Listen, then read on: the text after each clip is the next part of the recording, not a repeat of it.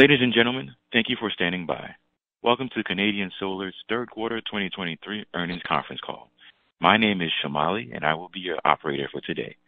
At this time, all participants are in a listen-only mode. Later, we will conduct a question-and-answer session. As a reminder, this conference is being recorded for replay purposes. I would now like to turn the call over to Isabel Zhang, Investor Relations Director at Canadian Solar. Please go ahead. Thank you, operator, and welcome everyone to Canadian Solar's third quarter 2023 conference call. Please note that today's conference call is accompanied with slides that are available on Canadian Solar's Investor Relations website within the Events and Presentation section. Joining us today are Dr. Shawn Qu, Chairman and CEO, Yan Zhuang, President of Canadian Solar's majority-owned subsidiary, CSI Solar, Dr. Huifeng Chang, Senior VP and CFO, and Ismael Guerrero, Corporate VP and CEO of Canadian Solar's wholly owned subsidiary, Recurrent Energy, also formerly Global Energy. All company executives will participate in the Q&A session after management's formal remarks. On this call, Shawn will go over some key messages for the quarter. Yan and Ismael will review business highlights for CSI Solar and Recurrent Energy, respectively, and Huifeng will go through the financial results. Shawn will conclude the prepared remarks with the business outlook, after which we will have time for questions. Before we begin, I would like to remind listeners that management's prepared remarks today, as well as their answers to questions, will contain forward-looking statements that are subject to risks and uncertainties. The company claims protection under the safe harbor for forward-looking statements that is contained in the Private Securities Litigation Reform Act of 1995. Actual results may differ from management's current expectations. Any projections of the company's future performance represent management's estimates as of today. Canadian Solar assumes no obligation to update these projections in the future unless otherwise required by applicable law. A more detailed discussion of risks and uncertainties can be found in the company's annual report on Form 20-F, filed with the Securities and Exchange Commission. Management's prepared remarks will be presented within the requirements of SEC Regulation G regarding generally accepted accounting principles or GAAP. Some financial information presented during the call will be provided on both a GAAP and non-GAAP basis. By disclosing certain non-GAAP information, management intends to provide investors with additional information to enable further analysis of the company's performance and underlying trends. Management uses non-GAAP measures to better assess operating performance and to establish operational goals. Non-GAAP information should not be viewed by investors as a substitute for data prepared in accordance with GAAP. And now, I would like to turn the call over to Canadian Solar's Chairman and CEO, Dr. Shawn Qu. Shawn, please go ahead. Thank you, Isabel, and thank you to everyone for joining our Q3 call today. Please turn to slide three. We achieved solid Q3 results despite the continued challenges, uh, challenging environment. During the quarter, we delivered 8.3 GW in solar module shipments. We generated $1.85 billion in net revenue, 16.7% gross margin, and total net income attributable to Canadian Solar shareholders of $22 million, or $0.32 per diluted share. Let me share a few key takeaways. Please turn to slide four. First, even with the challenging operating environment, the industry is healthy. To give you some color, I have worked in the solar industry for well over 20 years, but only just witnessed total cumulative solar installed capacity finally reach 1 terawatt worldwide in 2022. As we look ahead, strong global demand is on track to drive that number up to 1 terawatt in annual installations. I strongly believe this can happen before the end of the decade or 2030. That is an incredible amount of growth ahead of us. Adding to this, the battery energy storage system market, or BESS market, is also growing rapidly. I believe that BESS market is also on pace to reach the terawatt generation over the coming decade as it hits its first terawatt hours of cumulative deployments. Of course, short-term market cyclical fluctuations are uh, inevitable, with demand and supply constantly rebalancing. However, even with the current high cost of capital, solar and energy storage project returns are more economically attractive today than ever before. This is due to the lower equipment costs and higher electricity prices. The push towards decarbonization and net zero emissions is stronger than ever before, and the challenges of energy security remain. I strongly believe that the solutions we provide the market are truly the most competitive, impactful, and scalable in the fight against climate change. So long term, we believe the market fundamentals remain very strong. Turning to slide five. Technology remains a key driver of growth and progress in the industry. Over the past 20 years, conversion efficiencies improved from less than 15% to well over 25% now. N-type is the next big technology driver, and we have already ramped capacity. N-type TOPCon cell capacity now accounts for half of our total cell capacity and is expected to reach 60% by the end of this year. This gives us a major competitive advantage over other companies that have far greater exposure to older legacy technologies. Please turn to slide six.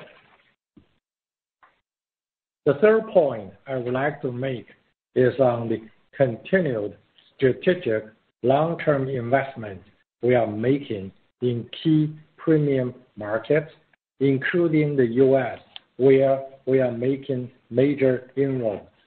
We recently announced a new 5 GW solar cell investment in Jeffersonville, Indiana. Jeffersonville is on the northern side of the Ohio River, on the border between Indiana and Kentucky. We chose this location after extensive analysis and evaluation of 85 different sites across the U.S. It is going to be one of our largest single investments, which will enable us to not only better serve U.S. customers with the most advanced technology, but also fulfill the local content rules of the Inflation Reduction Act, or IRA. We are excited because our new 5 GW cell facility will complement the new 5 GW solar module facility in Mesquite, Texas, which we announced earlier this year. The Mesquite facility is on track to start producing modules in a few weeks before the end of the year. In fact, I was there last week and was pleased to see the team fine-tuning and working on the final preparations for mass production. I'm very proud of everyone involved in executing these two important manufacturing plants. We also thank the officials in Indiana and Texas, and the local officials in Jeffersonville and Mesquite for their unwavering critical support. We look forward to continuing work with them as we grow in these communities, create important new jobs, and expand our global platform. In addition, we also recently announced a 5 GW solar wafer facility in Thailand, which will complement our investment in the U.S. and allow us to responsibly meet the new requirements related to latest and adjusted AD/CVD ruling by the U.S. Department of Commerce. Concurrently, we are adjusting the procurement of our module bill of materials in accordance with the newest regulations. Overall, we are strongly positioning ourselves to deliver long-term profitable growth for our shareholders. Please turn to slide seven. Lastly, we continue to lead in our ESG efforts. Recently, our ESG working group held global internal ESG town halls to socialize our initiatives and seek greater participation from our employees across all our regions. In this process, we continue to gather ideas and feedback from our great talent pool. Over the next year, we plan to focus on setting our SBTi, our Science-Based Initiative climate targets. We will also be expanding Recurrent Energy's ESG practices across all its development and construction activities.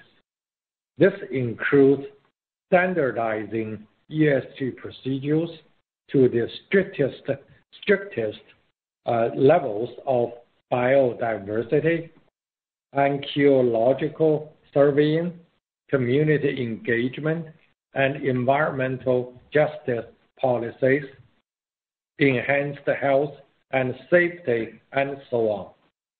Historically, we have mostly focused on the manufacturing side of the business, which naturally has the greatest environmental impact.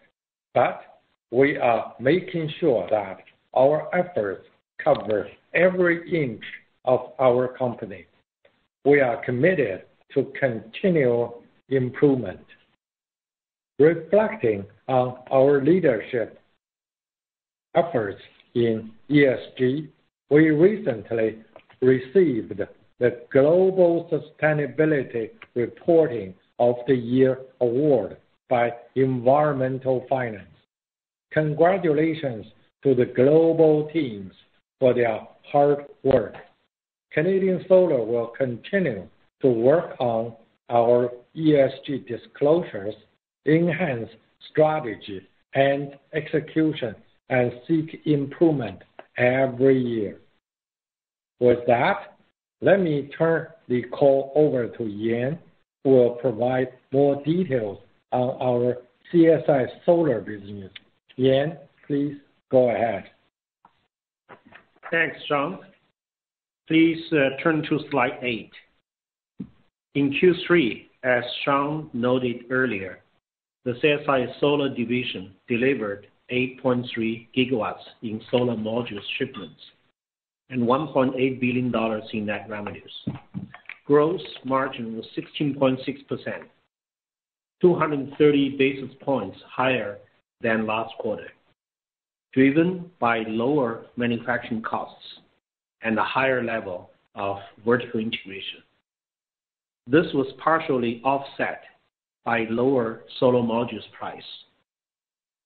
It also included a $35 million inventory write-down, which was specifically for modules in warehouses intended for certain distributed generation markets. Without the write-down, CSI Solar's gross margin would have been 18.5%. Let me now give you an update on the key drivers and market dynamics we're seeing. Please turn to slide nine. First, in Q3, we added 13 GW of TOPCon cell capacity. We expect to add another 11 GW by the end of 2023. As we explained previously, this expansion will meaningfully help us improve our vertical integration and enhance our structural margins. As Shawn mentioned earlier, we are big believers in N-type technology and its uh, ability to drive change in our industry. We also believe that TOPCon is the most competitive N-type technology for the next few years. In fact, TOPCon technology has pleasantly surprised us since we have been adding more lines over the past few months. For example, the conversion efficiency of our mass-produced TOPCon cells has now reached an average of 25.65%, which is nearly 3.5 percentage points higher than that of PERC. We're confident we'll exceed the 26% threshold next year. However, that is still well below the theoretical limit for TOPCon, which is currently 28.7%, and this number will likely increase over time as well. Second, let's look at our capacity by region. I want to highlight the implications of our capacity investments. We believe we will meaningfully increase our U.S. market share with our capacity expansion in the U.S. and Thailand, where we're investing across the supply chain, from modules to cells to wafer. Over the past few years, we have been shipping on average around 3.5 GW to the U.S., as we did not make any major investments due to the uncertain policy environment. The circumstances have obviously changed over the past 12 months, and next year, we intend to deliver significant growth in the U.S. market, supported by a combination of our new local capacity in the U.S. as well as in Thailand. We have also set up our own internal capacity for certain bill of materials in Vietnam, and by March of next year, we expect to meet the new requirements on the four out of six rule in the newest Department of Commerce ruling on AD/CVD circumvention for 100% of our solar module production in Thailand. Let me also make a few comments about our shipments to the U.S. As certain false information about Canadian Solar was recently brought to our attention. In the first three quarters of 2023, we imported approximately 3 GW of solar modules manufactured in Thailand into the U.S.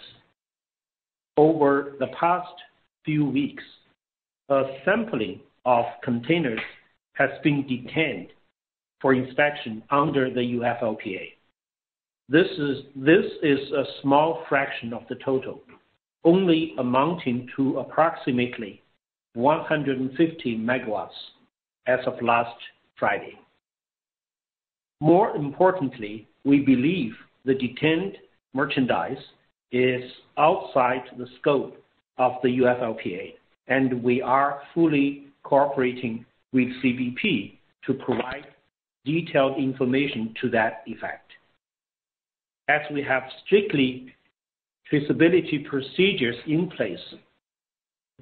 Moreover, Canadian Solar follows comprehensive ESG protocols and do not tolerate forced labor or any other form of modern slavery. In 2022, we conducted 122 supplier ESG audits. We believe this is one of the most rigorous ESG auditing programs in our industry. Lastly, turn to slide 10. I would like to highlight our continued progress in e-STORAGE, our utility-scale storage business. Since June 30th of this year, our team has signed approximately $520 million in new contracts, and our total contracted backlog has increased to $2.6 billion. Of these, around half are expected to be delivered next year, which is equivalent to approximately 6-6.5 GWh of projects. As we speak, our teams are busy with customers closing more transactions, which we expect to announce over the next few weeks. I'm proud that we have built a very strong global team that is able to execute and deliver on some of the most differentiated storage technical solutions in the market. Their ability to solve complex problems for our customers has allowed us to sign contracts with multiple repeat customers. The profitability of e-STORAGE has also been improving, as most of our contracts have fixed prices, whereas our costs have been declining alongside the decline in lithium carbonate prices. Hence, we expect e-STORAGE to be a much bigger contributor to CSI Solar revenues and notably profits in 2024. Now, let me hand over to Ismael to provide an overview of Recurrent Energy, Canadian Solar's global project development business. Ismael, please, uh, go ahead. Thank you, Yan. Please turn to slide 11. In Q3, we delivered $64 million in revenue with a 27.7% gross margin. Q3 was expected to be a sequentially lower but still profitable quarter for Recurrent Energy from a gross margin standpoint, as we only monetized an 18-MW project in Japan and a few smaller projects in Taiwan. However, as I have started emphasizing recently, we are now shifting more of our resources towards executing projects, as we intend to grow our base of operating assets that generate recurrent earnings. In Q3, nearly 300 MW of projects in the U.S. closed financing, including both tax equity and project finance, and are now under construction. We expect to hold these projects longer term. We also expect to close financing on a third one soon, with construction then starting. Hence, we plan to have close to 500 MW under construction in the U.S. by the end of 2023. In Europe, we have approximately 150 MW under construction, with financing and lucrative PPAs in place. Over the course of the next year, we expect to COD around 500 MW of projects and start construction of approximately 1.7 GW of solar and 800 MWh of storage projects, which we intend to hold long term. All of this means we are executing on our strategy. We are transitioning from mostly being a pure developer to a developer plus asset owner and operator. Over time, this will allow us to deliver more stable, forecastable growth, as over 70% of the revenues of the assets we intend to retain control of are fully contracted and diversified in low-risk areas only. We've also significantly expanded our operations and maintenance, or O&M capabilities. In Q3, we acquired a market-leading O&M team in the U.K., significantly expanding our O&M contracted capacity from 6 GW at the end of last quarter to 8 GW at the end of Q3. This brought us to top three in the world by global O&M market share. Being one of the largest and most geographically diversified O&M operators and power services providers for both solar and storage assets enables us to better understand and optimize the performance of these assets in different locations around the world. Please turn to slide 12. As of September 30th, our total development pipeline grew to 26 GW of solar and 55 GWh for battery storage projects. While we are focusing our resources on executing late-stage projects, we are also proactively developing new origination opportunities. The persistently high interest rate environment has made generating high returns more challenging. However, the decrease in system costs has also helped offset these effects, including the significant decline in solar module and lithium prices, as well as the lower cost of steel that has reduced the cost of trackers and other pieces of equipment. Technology improvements, such as TOPCon, have also improved our project economics through higher efficiency and lower degradation. And the interest from off-takers for renewable assets remain as strong as ever, helping us sign lucrative PPAs. Securing interconnections and interconnection delays continue to be the main constraints for our business today. But having approximately 13 GW of solar and 12 GWh of storage interconnection secured, give us very good long-term growth visibility. One of the key advantages of being a global project developer is our ability to apply lessons learned and best practices from one region to others. For example, we are one of the market leaders in energy storage development in the U.S., where we developed and completed 3 GWh of projects. We are now applying that valuable experience as we pursue significant storage opportunities across Europe, Japan, and areas in Latin America. In these markets, we are the only player with a significant track record in storage development. This lends us significant credibility and competitive edge to take advantage of the earliest and most profitable opportunities that will create long-term value. Similarly, being one of the few developers that can provide PPAs in different parts of the world, give us a significant advantage with global off-takers who are seeking a streamlined process when signing renewable projects in different countries. We have been very successful in signing contracts in different jurisdictions with the same global customers, thanks to this advantage.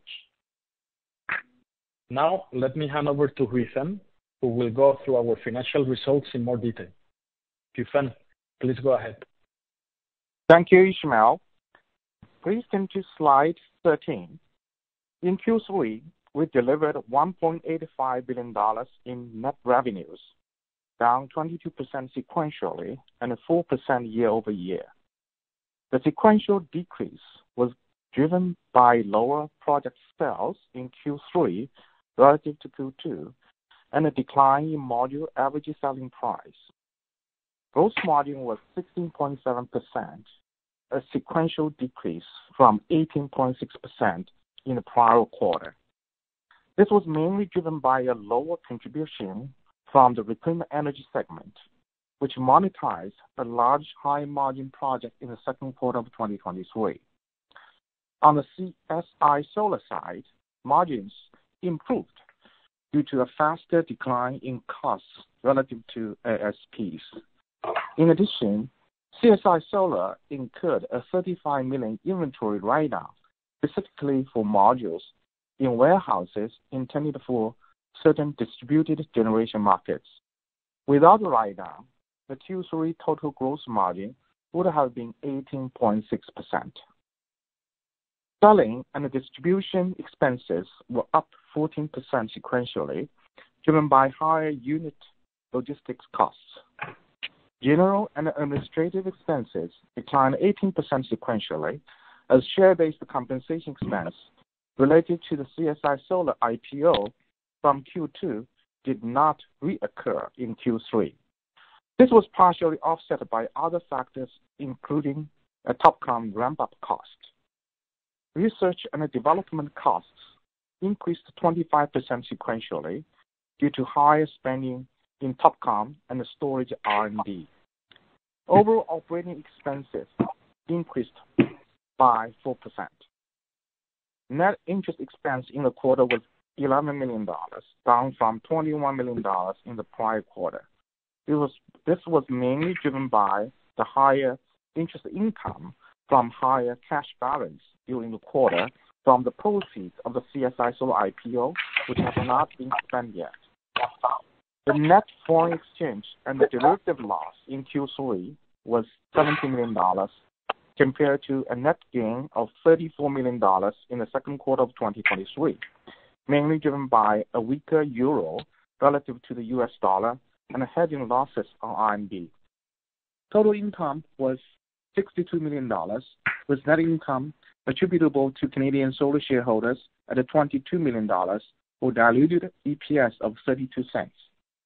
Now, turning to the cash flow and the balance sheet, please turn to slide 14.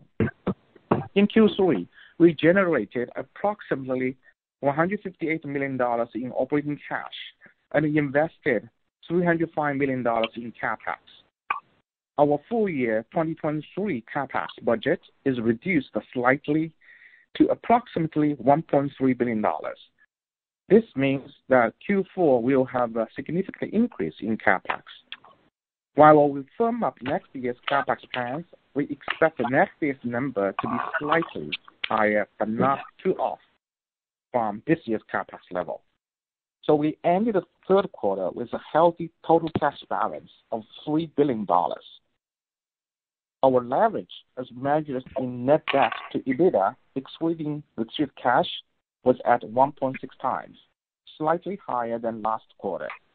Our financing programs now include two green bonds, one issued in Europe, the other in Japan, the latter, which we closed around a month ago. So now let me turn the call back to Shawn, who will conclude with our guidance and the business outlook. Shawn, please go ahead. Thanks, Huifeng. Let's turn to slide 15. For the fourth quarter of 2023, we expect solar module shipments by CSI Solar to be in the range of 7.6-8.1 GW, including approximately 85 MW to Recurrent Energy projects. Total e-STORAGE utility-scale battery storage shipments by CSI Solar are expected to be in a range of 1.4-1.5 GWh, of which approximately 720 MWh are expected to be recognized as revenue in early 2024. From a financial point of view, we expect total revenue to be in the range of $1.6-$1.8 billion, and gross margin is expected to be between 14%-16% in the fourth quarter. For the full year 2024, we expect total solar module shipments to grow to the range of 42-47 GW. We expect total battery energy storage shipments to grow to the range of 6-6.5 GWh. These numbers include approximately 2 GW of solar and 2.5 GWh of storage internal shipment to Recurrent Energy projects, respectively.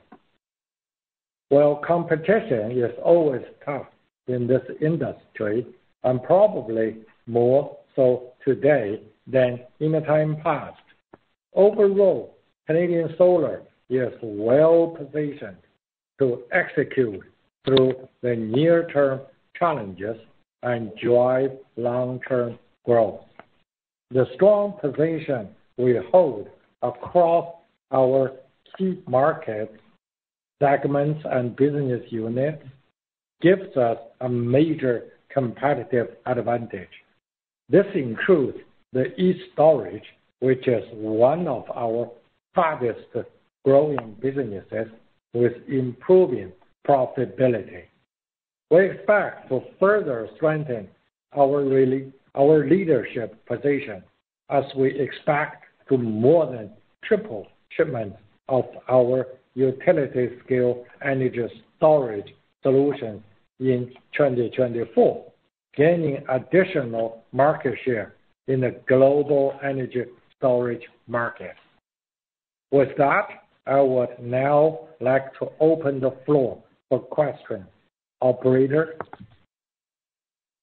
Thank you. At this time, we will be conducting a question-and-answer session. If you would like to ask a question, please press star one on your telephone keypad. A confirmation tone will indicate your line is in the question queue. You may press star two if you would like to remove your question from the queue. For participants using speaker equipment, it may be necessary to pick up your handset before pressing the star keys.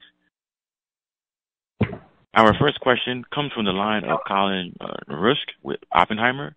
Please proceed with your question.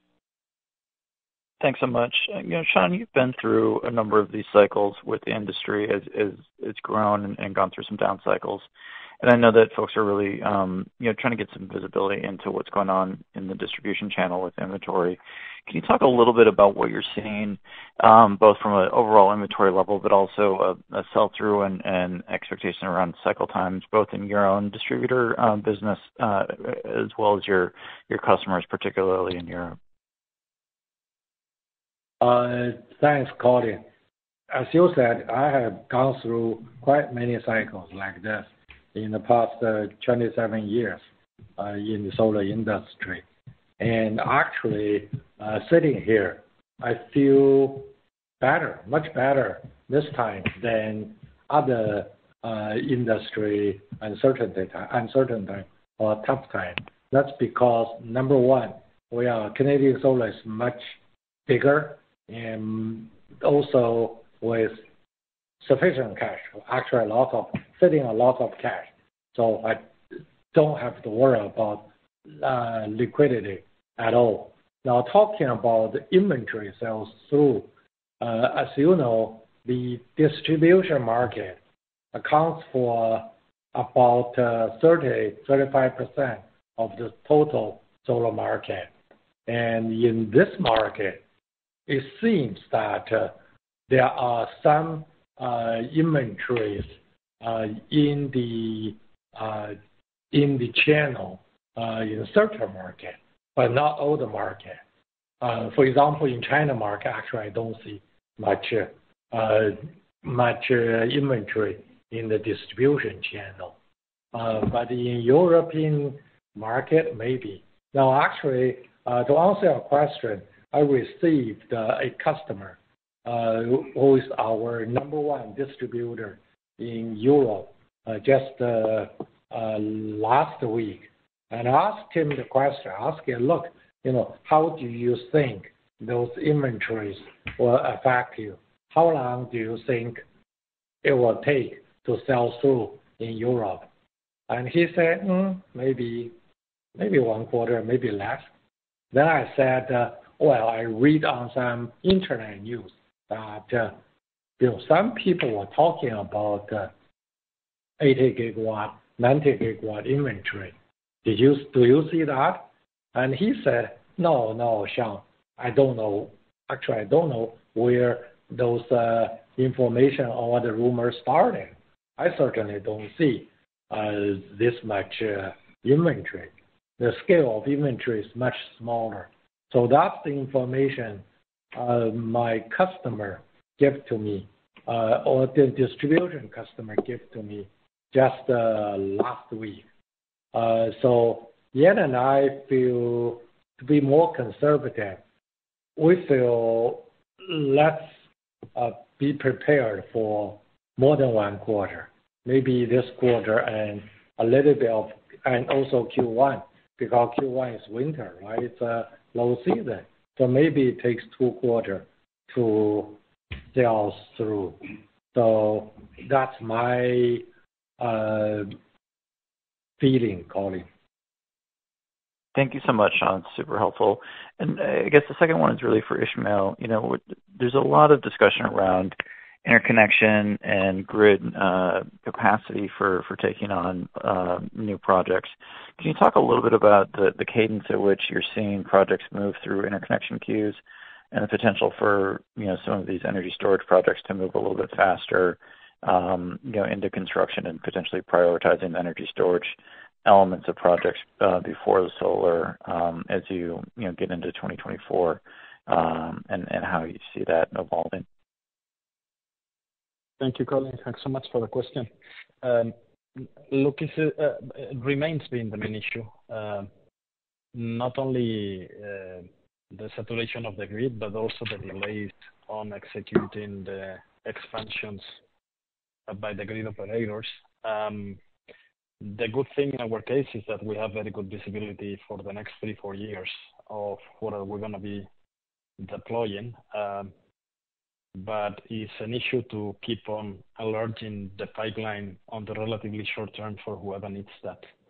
Um, look, uh, transformers, Uh, you need to order way in advance, and you are taking a significant risk because sometimes you need to order them before uh, fully finalizing your permitting process. Otherwise, you are gonna be late. Um, in the storage side, we start to see more acceleration than before. We are starting to have the first projects coming in Europe. Uh, we are starting to receive the first interconnections for storage in Japan.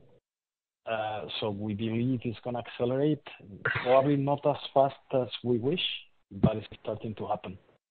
Um, I hope I answered the question. Yep. Thanks so much, guys. Our next question comes from the line of Philip Shen with Roth MKM. Please proceed with your question.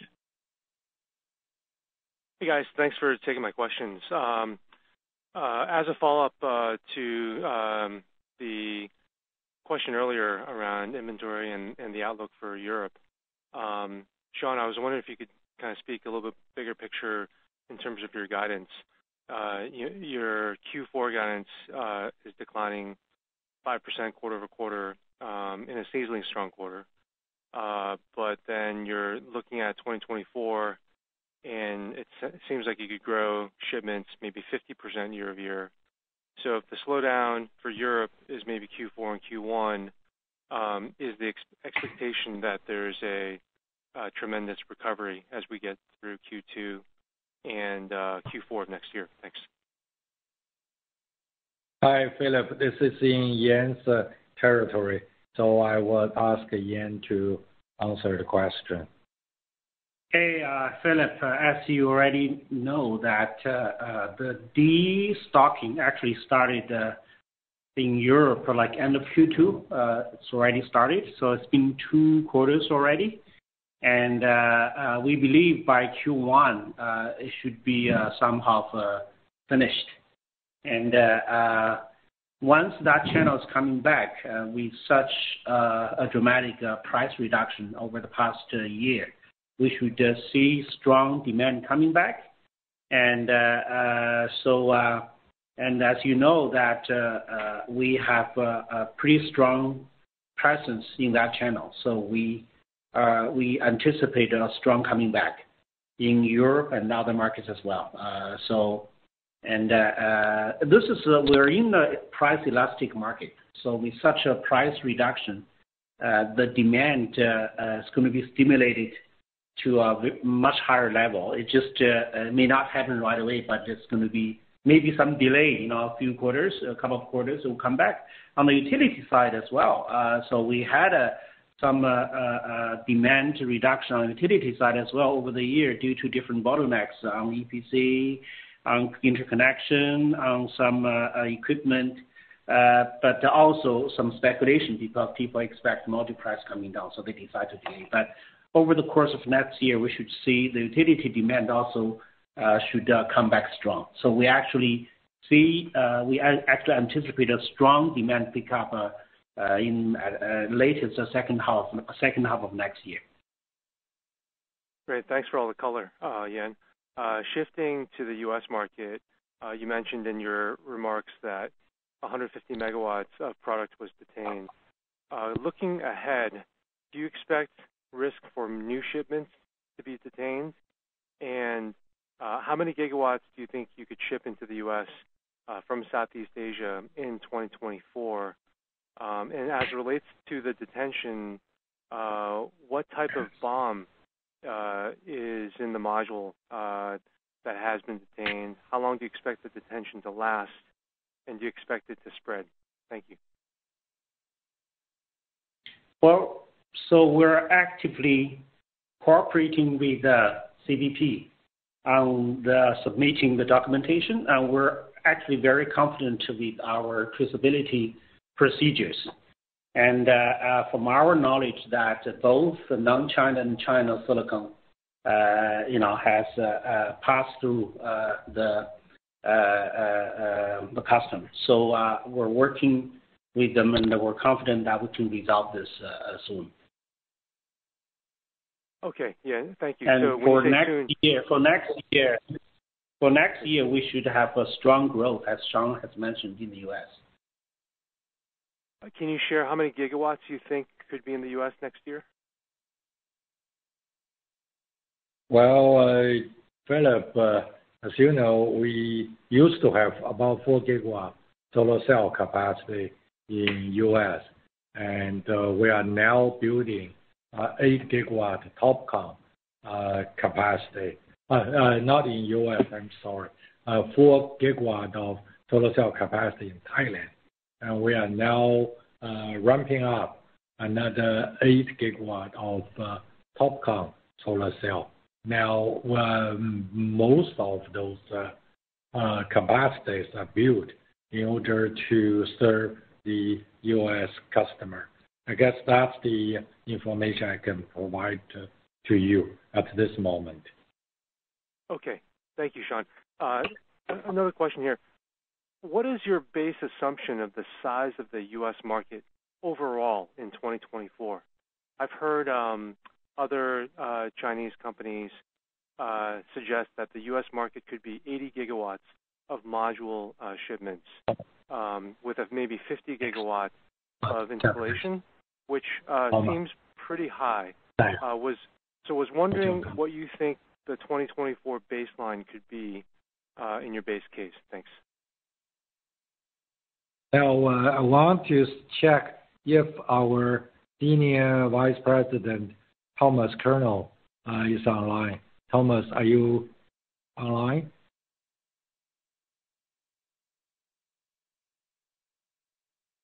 Thomas? Okay, forget it. Next time. So Yan- Thomas's line is now is now live.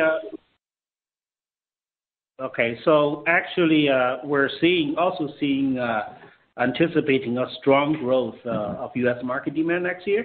I'm not sure about 80 GW, but it should be much higher than this year. That's our estimate. I think Thomas might be available now. On what, what's the basis of that strength?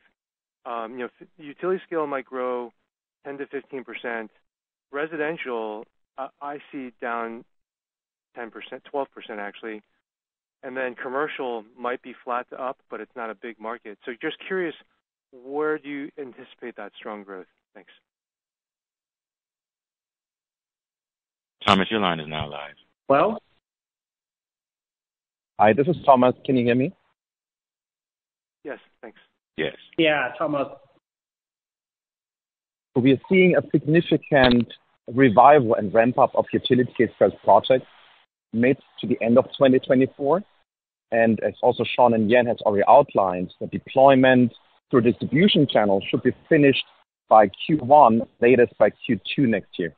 We're already seeing distribution companies to reorder and restart ordering for the beginning and Q2 next year.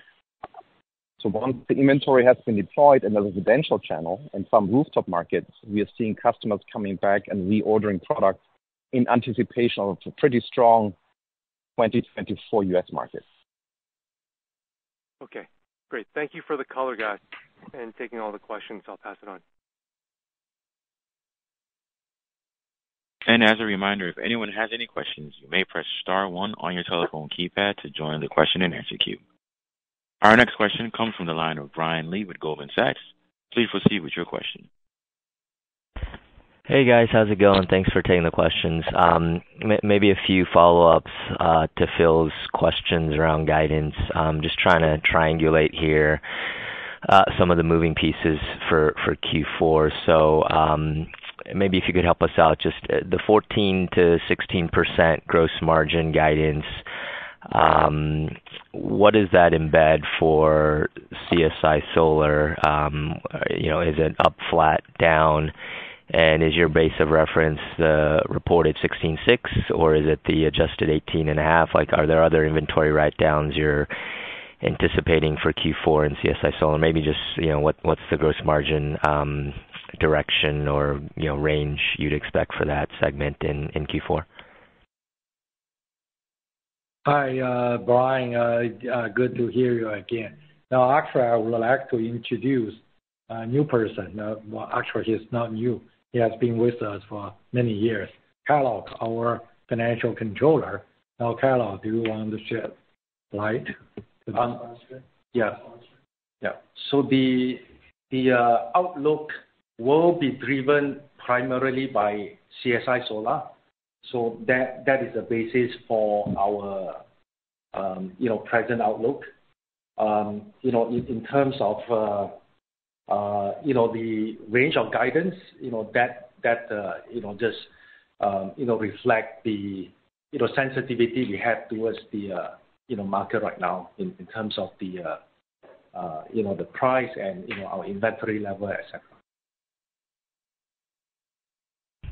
Okay, fair enough. Um, maybe asking it a different way, um, it sounds like you're inferring that, you know, Q4 is gonna be largely driven by CSI Solar, and so Recurrent, um, you know, was pretty pretty light revenues in Q3. If we presume Recurrent doesn't grow significantly in Q4, I guess the math would just imply that ASPs, which were like low $0.20 per watt this quarter reported, uh, would be like $0.17 or $0.18 per watt um, in Q4, or uh, do we uh, are we wrong in assuming that Recurrent is is not growing much in Q4? Just trying to triangulate the pricing, I guess, 'cause um, I have a follow-up question around the implications for 2024 guidance.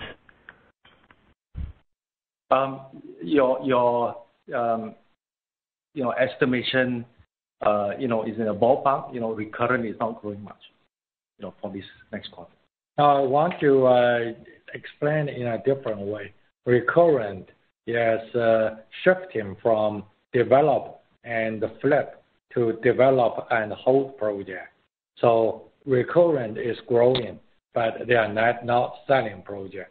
We think we are we have been leaving too much money on the table by selling the project just after or before uh, COD. We think uh, our project are very valuable, and connection points are also very valuable, and you're not going to see this kind of PPA or this kind of connection point anymore. So we think that by holding those projects, though, the value will grow. So just want to correct that, uh, Recurrent is growing because the pipeline is growing.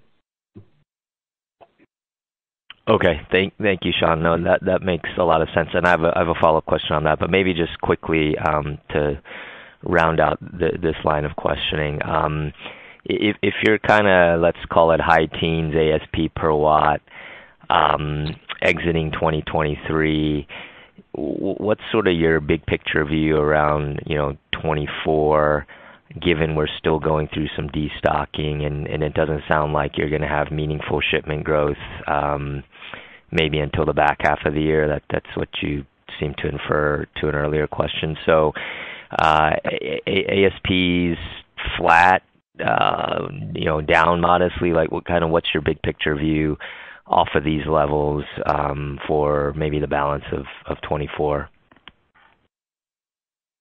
Hi. Hi, Brian. As you know, we don't provide the 2024 margin or uh, ASP guidance yet. So why don't we wait till March or uh, May conference call, and uh, let's see whether we can share some the numbers at that time. Okay, understood. Uh, last one from me, Shawn, and I'll pass it on. I did wanna ask you kind of big picture strategy question. You know, as Recurrent is is gonna go into more of a, um, uh, you know, it almost sounds like quasi IPP model. Um, wondering, can you give us a sense of, you know, what what your average holding period, target holding period would sort of be like? Um, and the reason I ask is, you Uh, know, you're not you're not generating free cash flow this year, and if CapEx is up, uh, you know, more next year, you know, presumably you may be in a in a tight free cash flow position uh, next year as well, and you're not selling these assets um, for for upfront margin. So, does it start to strain your cash flow or balance sheet picture in in terms of holding these projects longer? Just kind of get a sense of the puts and takes and how you balance that. Uh, thank you. Hi, uh, Huifeng. Uh, can you answer this question? Yes. Yeah, sure. Hi, Brian. Our leverage on the Recurrent Energy side has increased over the year because we are transiting into a build-and-hold model. But meanwhile, when we indicate our strategy of holding assets, we are being approached by many uh, uh, financial partners. So, uh, we have options going forward, equity, um, partnership, all kinds of form to grow our assets and also be a manager for those assets, so the future cash flow will be predictable, stable. So we are really in the transitional period, and that explains why the revenue number over the past few quarters was lower for Recurrent Energy. But going forward, uh, you will see a uh, the cadence will change. We'll accelerate the growth, only more assets and only more uh, cash flows. Thank you. Hey, hey, Ismael, do you want to add some color? Sure. Mm-hmm. Um, So, uh, uh, uh, look, you've been asking a couple of things. The first one was for how long we intend to hold the asset. I think that's heavily dependent on when is the optimum point of selling. So our intention is to retain for as long as we can and wait for opportunities, if there are opportunities in the market, to sell a portion of bigger portfolios, whenever uh-huh. market conditions are good for the sale. But initially, we don't have a period to be holding. We are signing PPAs for 15-20 years. Uh, so the intention is to prepare the assets to be holding for the long run. And on on how to how to get the equity, I think you can uh, reply perfectly. I mean, there are many ways to get the equity we need, and we are perfectly aware of what it means cash-wise, the shift. So everything is very well planned, I think. And it looks like we have time for one more question. Our last question comes from the line of Praneeth Satish with Wells Fargo. Please proceed with your question. Thanks. Um, good morning. So I guess when you when you look at your end markets, you know, we know um, DG demand, residential demand is weak, but I guess focusing more on the utility side, have you seen Um, signs of slowdown on utility scale solar demand, given higher rates? And then on the Recurrent side, um, how are you seeing returns trending in the current market, and what's the ability to pass on, you know, the higher rates with higher PPAs? How much room is there for that? So, uh, I would invite uh, Yan to provide uh, colors from the module vendor side, and then uh, Ismael can add more colors as a developer. Yan? Hey, uh, well, so the answer is on the demand side, we're seeing a strong potential demand uh, next year because from our discussion with our many of the big utility-scale customers, you know, a lot of those customers, they have a huge pipeline that are Uh, uh, coming uh, up, and some of them get delayed into next year. So for various reasons, and pricing downtrend is one reason, and some other reasons like delayed interconnection and and some other permitting delays. But we know the pipeline's coming up next year. So uh so that's a good sign. Ismael? Sure. Uh, look on the interest rates and the ability to pass over the hit on the model. Uh, there are a couple of things that we need to understand. Uh, the interest rates are high right now, but we don't know for how long are they going to stay high. Everybody's assuming in their modeling that sooner or later they will refinance at the better rates. So you are having a hit right now, but it's not a hit for the life of the asset. While we are having reductions on the CapEx of the projects that stay there for the life of the asset because it's a one-time investment. Uh, on the PPAs, uh, we still see a very strong demand, uh, and the dynamic of that market is different from the interest rates. It's basically dominated by supply and demand. And because of the delays of interconnection, we still see that there is a significant shortage of good quality projects, and off-takers are generally struggling to secure all the PPAs they want to secure. So we've been canceling a couple of PPAs ourselves to sign better ones. And right now, the market is strong. Uh, that's all I can tell you right now. We have reached the end of our question-and-answer session. I'll now turn the call back over to Chairman and CEO Dr. Shawn Qu for closing remarks. Thank you for joining us today and for your continued support. If you have any questions or would like to set up a call, please contact our investor relations team. Hope you have a wonderful Thanksgiving holiday with your families and take good care. This concludes today's conference, and you may disconnect your lines at this time. Thank you for your participation.